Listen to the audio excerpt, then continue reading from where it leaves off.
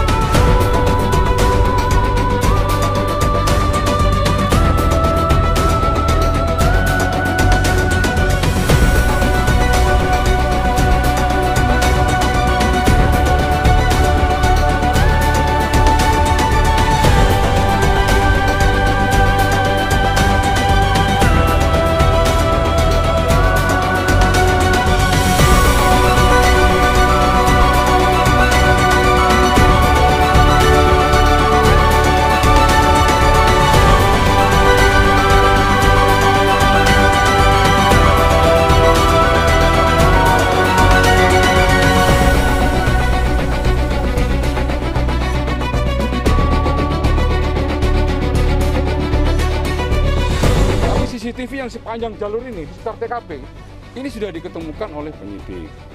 Demikian juga kemarin saya sampaikan CCTV dari sepanjang jalan dari mulai Magelang sampai dengan TKP sini itu juga sudah diketemukan oleh penyidik. Sekarang masih proses pemeriksaan oleh lapor. ahli forensik dari beberapa universitas. Nah, kemudian hasil pertemuan tadi beberapa hal disampaikan oleh eh, ahli-ahli forensik dan kemudian sepakat untuk dilakukan ekshumasi di hari Rabu di Jambi.